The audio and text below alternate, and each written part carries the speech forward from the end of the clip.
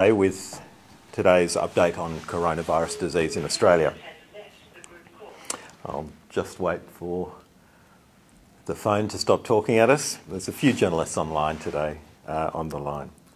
So the numbers for coronavirus disease in Australia today, uh, thus far we have diagnosed 21,084 individuals in Australia with COVID-19. Uh, in the 24 hours to 12 noon today, 404 newly confirmed cases. In New South Wales, uh, there were 10 new cases reported. One was overseas acquired in hotel quarantine. Seven were contacts of a confirmed case. Two were locally acquired, and the contact has not been identified and is still under investigation. In Victoria, 394 new cases were reported in the past 24 hours. 49 were contacts of a confirmed case. 345 remain under investigation. There were 17 more deaths overnight uh, from COVID 19, uh, bringing the total number of deaths nationally to 295. 658 people are hospitalised at the moment, and 51 of those are in intensive care units. On Friday, the National Cabinet considered Australia's, uh, the Australian Government's vaccine and treatment strategic approach for COVID 19.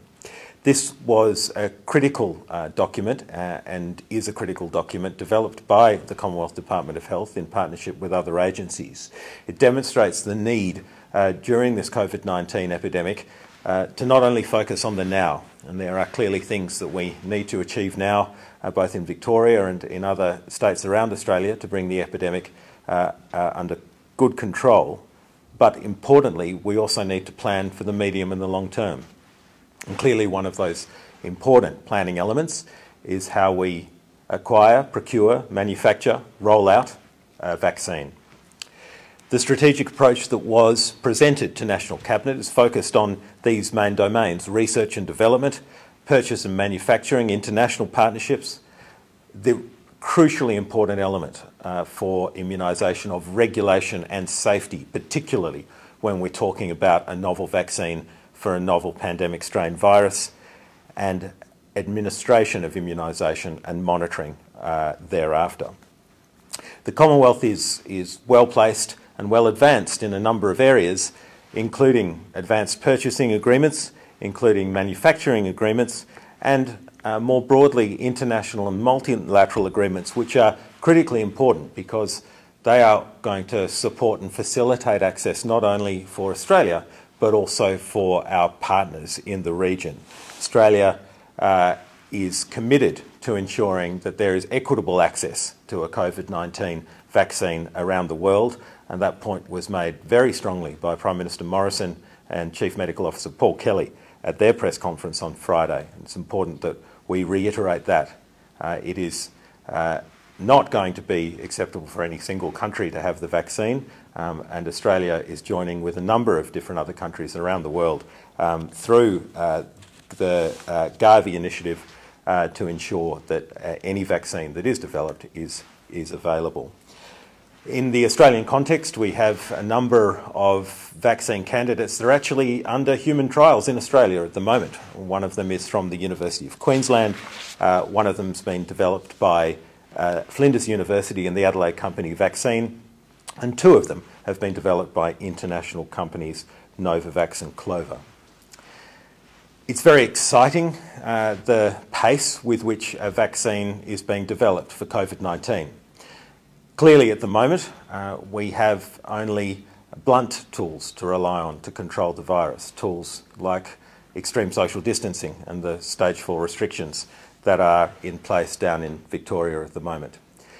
Uh, it reminds us um, that around Australia, we need to, even in places that have no COVID 19, in the absence of a vaccine, as we prepare, uh, as we trial vaccines, as we prepare uh, for the possibility of a vaccine, we must at the same time keep our distance. We must at the same time get ourselves swabbed and tested if we're at all unwell and stay away um, from our colleagues, co-workers or schoolmates if we're unwell. Uh, we must continue our excellent hygiene practices that we've developed as a nation. Uh, and we must continue um, to encourage uh, our friends and family, I saw reports today um, that there are clearly members of the community that do not engage in uh, traditional media or even social media. Um, there are doubtless many millions of Australians that don't necessarily uh, Nick Coatsworth press conferences on a Sunday afternoon. Um, but with one or two degrees of separation um, and uh, the community engagement. Um, so, for example, if you are a um, mother or a father whose um, teenager or 20 year old um, doesn't appear to be getting the message, then now's, of course, the time to encourage them. We have to, as a community, all be moving in the same direction here. And there is nowhere that's more important in that regard than down in Victoria at the moment. Um, and again, as we will do every single day uh, when Victoria, um, Greater Melbourne and Mitchell Shire are under stage four restrictions and the remainder of Victoria is under stage three restrictions, um, we acknowledge um, the challenges, um, the disruption um, to, to, their lives that Victorians are undergoing at the moment, essentially for the benefit of Victoria and the, the broader Australian community. What Victorians are doing at the moment is for all of us. And um, so if you know anyone in Victoria, um, as I do, uh, just pick up the phone, check in, check in how they're going, um, give them your support. Um, sometimes that phone call is uh, what brightens an otherwise, um, an otherwise dull day um, and just check in on how your friends and family and colleagues are going on down in Victoria. And with that, I'll take some questions. Claire. Dr. You talk about the blunt instruments we have to control the virus, but there's also been improvements in treatments. The death rate now is a lot lower than the initial estimates, even a few months ago. Where is it at in terms of what Australia believes to be an accurate death rate? And what are the factors in treatment specifically that you think are helping to lower that? Well, Claire, I haven't seen the latest mortality rates for COVID 19 over the past two or three weeks, uh, but it is the case that Australian results appear to be better than around the world, and there's a, a number of reasons for that. The first one is, of course, that our intensive care units, our doctors and nurses in our ICUs, have always been world leading. And that doesn't just apply to intensive care, but it also applies across the range of our healthcare system, whether it's in primary care, whether we're talking about nurse practitioners, whether we're talking about uh, those brave doctors and nurses at the front of shop down in ED's emergency departments in Victoria at the moment, um, who really don't know what's coming through the door uh, at any, any given time. So um, the quality of our healthcare system is important. Uh, but moreover, we're learning more and more. We're applying new treatments we're applying dexamethasone, which is the steroid that's been demonstrated in the recovery trial to actually decrease mortality. We have at our disposal remdesivir, which um, shortens length of stay for a certain uh, group of patients, and there's more evidence on the way for that.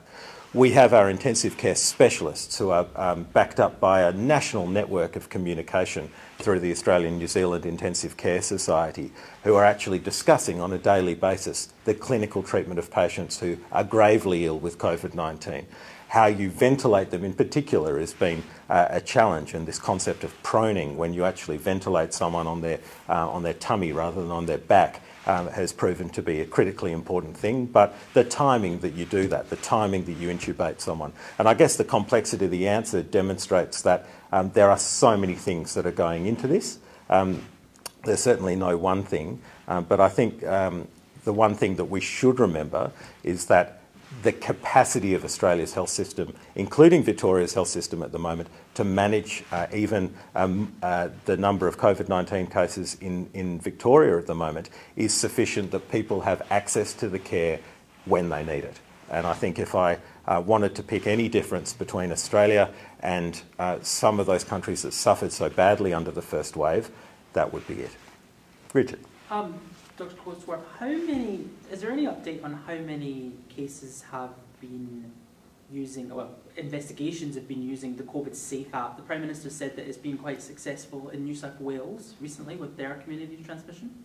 Yes, so COVID Safe has had a number of recent and, and, notable successes. I guess the most significant one was the identification not just of uh, some contacts, but of an entire transmission event, so to speak, um, that wasn't uh, identified through the contact tracing interview. And that involved some 544 uh, contacts in the west of, of Sydney being, uh, being identified through the app, and of those, uh, two of those tested positive in the short space of time afterwards. I don't have any updates whether there's been any more after that.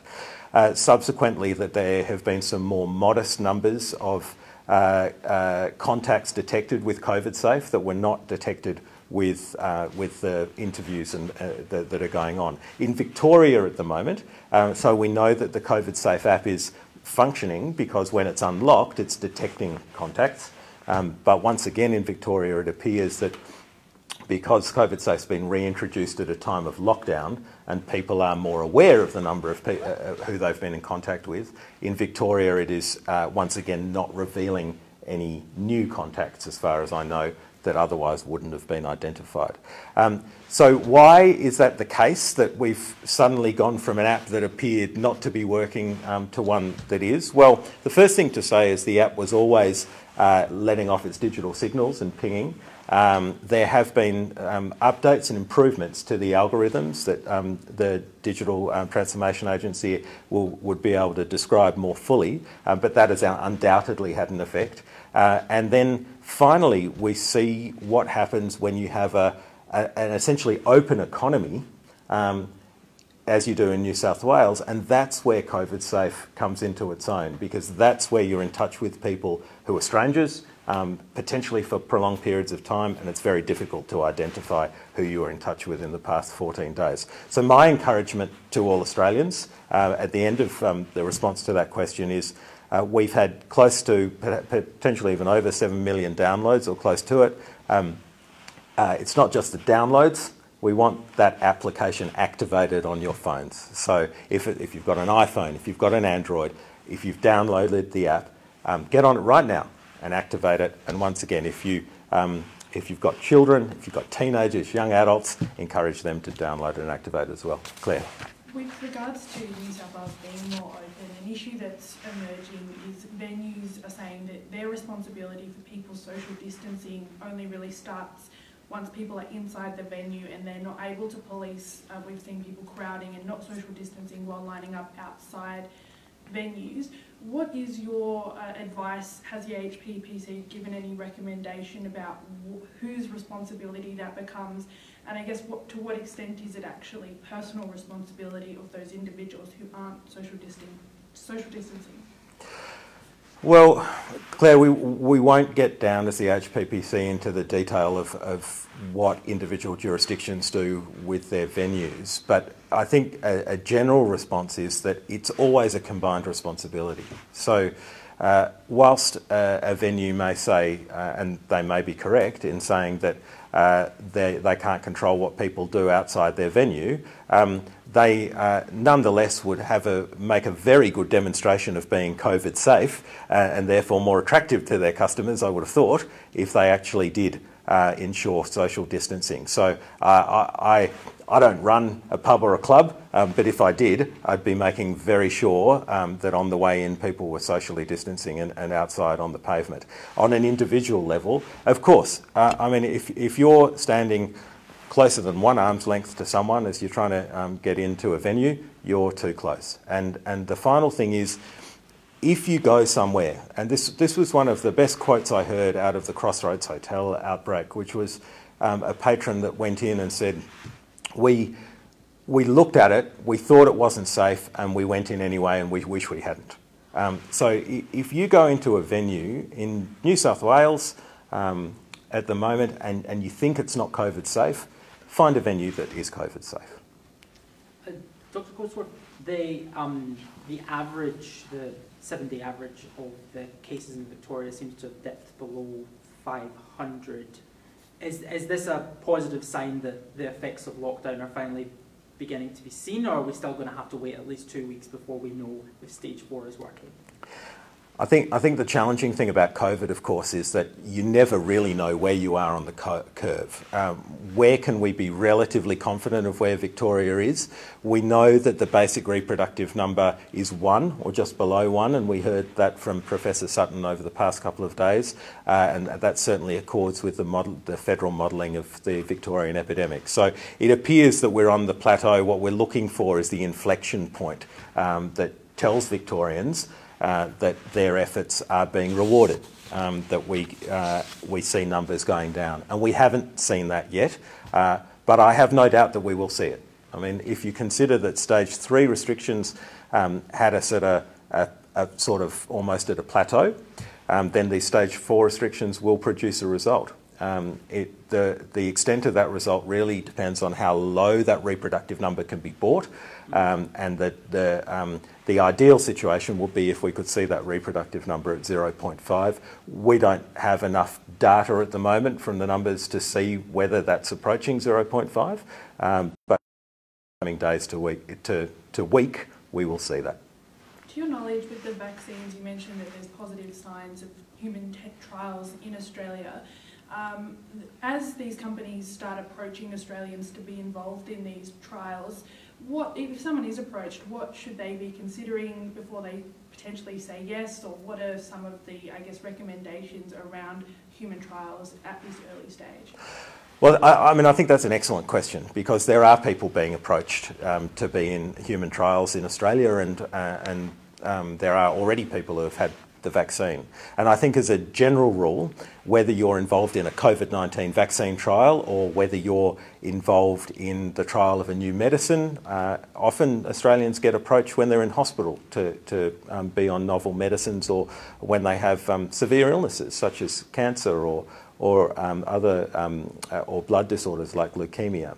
Uh, but for whatever reason, any of those, the most important thing is to uh, deliver informed consent um, and informed consent means um, that you get as much information as you can um, about that, uh, um, uh, that medication or that vaccine, accepting, of course, that the reason you're on a trial is because we don't know everything about it. So um, uh, I, would, I would say um, that the companies that I've mentioned that are trialling the vaccines and the academic institutions, these are um, clearly reputable institutions. We have um, allowed them to perform the trials in Australia, which is governed um, by a very rigorous research architecture. Um, and so, with that in mind, um, uh, that should uh, provide people with reassurance about being on human trials for COVID vaccines. And I might just go to the phones. I'll just pick one up. Sorry to move off camera there. Yes, hello. Josh. Hello, yeah. I'll go with Josh first, sorry.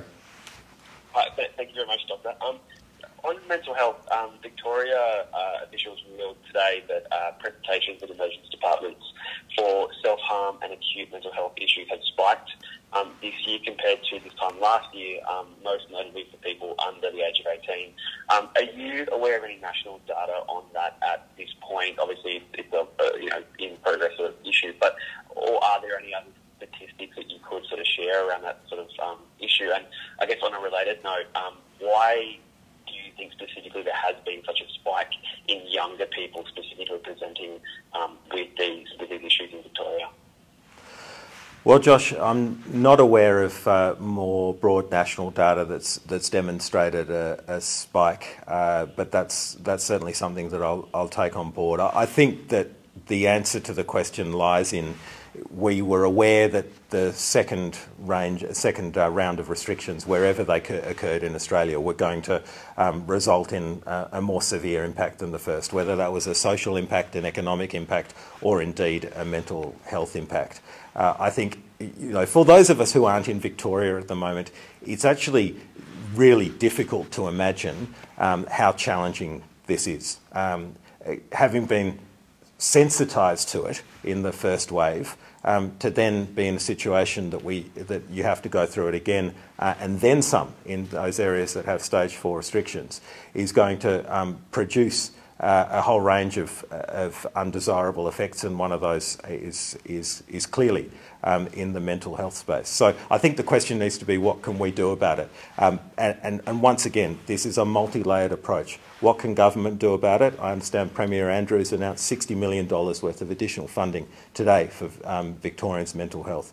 Um, the federal programs have been up and running for many, many months now, and Prime Minister Morrison announced an extra $12 million Um, it's not simply about making these announcements, of course. The governments um, can provide the services, but it also requires people to access them. So, how do you access mental health services? It can be through the internet, um, the Black Dog Institute, of course, Beyond Blue, some of these really famous names now in mental health, because there has been uh, a deep focus on mental health in the Australian community over the, um, uh, over the past decade.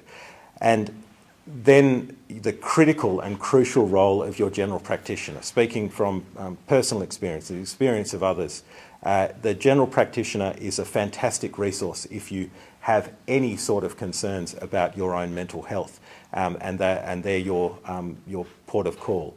And of course, there are some people who won't be accessing those, and the people that we are most concerned about are the people who either haven't recognised um, the mental health um, consequences in, uh, of the, for themselves, or people that don't know how to access services or are afraid of accessing services. Um, and for those, again, I'll go back to what I, started, I said at the start of the press conference. That's where community has to be part of this. That's where friends and family have to observe changes in people and reach out and be aware that those services are there. Um, and remember um, the uh, urgent um, uh, numbers uh, of Lifeline and Kids Helpline um, which are widely available uh, to be able to seek the sort of urgent attention um, if, uh, if you do find yourself in a mental health crisis. Um, and uh, also, of course, not the first line, but the last line, as you've said, Josh, emergency departments as well. Um, but there are a whole range of ways to, um, to, to, to, help manage that, and it is a, an, a, a considerable focus um, of the federal and state governments at the moment.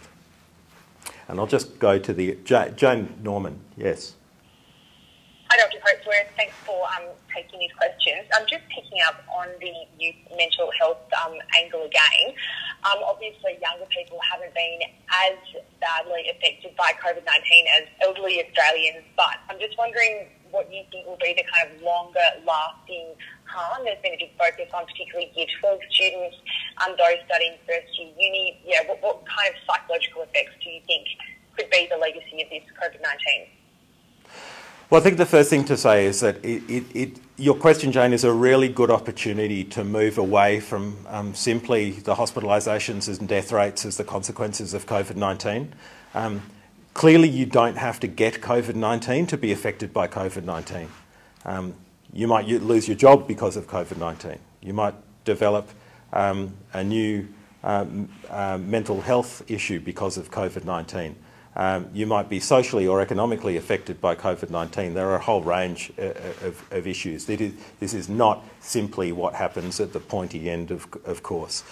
Um, I think you know, it's very, it's very hard to speculate on what might happen to um, a whole, say, generation of Year 12s, uh, and, and um, that's certainly a focus for education ministries around Australia, in, including um, Victoria at the moment, what to do with, with VCE students.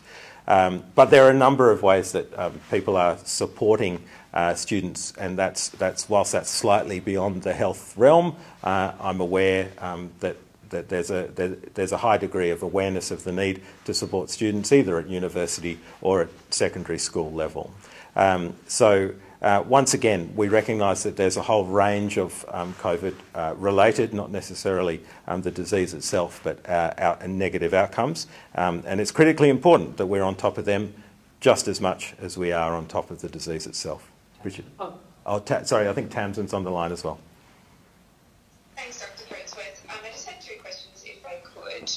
Um, last week, uh, the National Cabinet met and was um, Professor Kelly said that they were talking about P2 and N95 masks and preventing further infections in healthcare workers. I was just wondering if you had an update on that. And then also, I understand that a lot of work is being done and there's going to be a report into the Victorian response to COVID 19, specifically looking at aged care. I was just wondering at this stage if there were any learnings from Victoria that were already being implemented in other states to prevent further devastation like we've seen in Victoria. Okay, thanks, Tamsin. So, firstly, on the P2N95 um, respirator use and the guidance therein. So, th- this relates to whether um, we think that the predominant mode of transmission for COVID 19, a respiratory virus, is via what we call contact or droplet, um, where very large particles come out of the mouth and are deposited on surfaces, uh, and then um, you acquire it through contact with mucous membranes, or whether there might be an airborne transmission component. Now, traditionally, airborne diseases like measles, varicella, which is chickenpox, or tuberculosis. Um, these diseases are transmitted, their infected particles stay suspended in the air for many hours after um, someone, they come out of someone's respiratory tract. So, um, to simplify that a little bit, it is, it is clear um, that for respiratory virus, a new paradigm is emerging, that there is a continuum between contact and droplet and what we would say is traditional airborne transmission. Um, so, in recognition of that, um, but more importantly, in recognition of some specific cases that happened in Melbourne um, at one of the major tertiary hospitals, and those cases actually involved very experienced infectious disease clinicians and registrars who were um, using standard PPE, including a surgical mask, and still acquired COVID 19. In recognition of that, the circumstances under which P2 uh, N95 respirators, which protect, protect you from airborne particles, has been expanded by both the Victorian Department of Health and Human Services and also by the Infection Control Expert Group. Specifically, uh, in instances where COVID 19 patients are hospitalised or in um, residential aged care, uh, where the environment is uncontrolled. Um, so, COVID 19 wards where people can deteriorate, or they might be on what we call high flow oxygen that can aerosolise COVID 19. Uh, people should be wearing N95 uh, P2 masks. So that guidance from ICEG is actually on the Infection Control Expert Group, is on their website, and the guidance from the Victorian DHHS is, uh, is on their website as well. Just finally to re reiterate that that uh, updated guidance was in direct response to um, uh, talking to frontline clinicians uh, frontline infectious disease physicians in Melbourne about uh, the uh, transmission dynamics of COVID 19. Um, now, on the second question, which was residential aged care and the learnings uh, that were presented to National Cabinet. So, I'll give one or two examples um, of instances where those learnings are already being implemented around Australia. Uh, one of them is the communication that's required between the residential aged care sector, which, as you know, is um, uh, a Commonwealth funded and regulated um, and, and, largely run by private pr providers. So, communication with that um, sector and the hospitals and health systems, which are state run.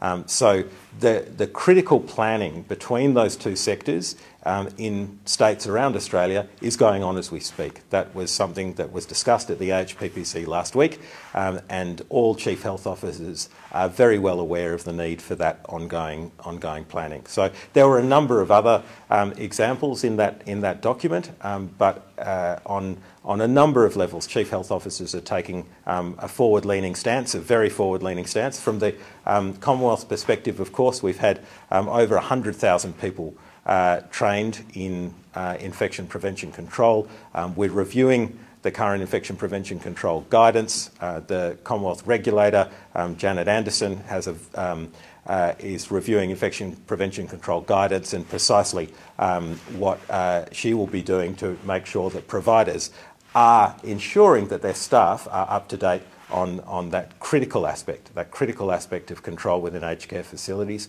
um, which is making sure it's not spread um, through the use, um, through the appropriate use of personal protective equipment. I'll take two more questions from Richard and um, Claire. Uh, Doctor, are you particularly concerned about the number of healthcare workers getting infected at work in Victoria and the effect that that might have on the overall hospital system to deal with the second wave? So, uh, on, on one level, I'm very concerned about the number of healthcare worker infections, yes. Um, when we hear that I think it was 140 out of 459 yes, yesterday were either residential aged care workers or, or healthcare workers. That is very concerning. Um, that clearly has flow-on effects um, to the workforce, and um, it is uh, it is certainly putting strain on uh, individual health services. We're aware of that um, in Victoria. What is clear, though, is that despite that strain, um, the system is coping in Victoria with the current number of cases, as I said, about 650 hospitalisations and 51 people in intensive care, and that's remained relatively static um, since the um, since the second wave uh, started in Victoria. So. Um, the, the, key, of course, is to take healthcare workers' infections on three levels. The first one is um, if there isn't the degree of community transmission, there won't be healthcare worker infections, and that's how the community is helping reduce that number. Number two is what the individual healthcare workers and, and um, employers can do to prevent healthcare worker to healthcare worker transmission, which is likely to be a significant part of this. And thirdly, of course, personal protective equipment, which we just discussed with N95 P2 masks.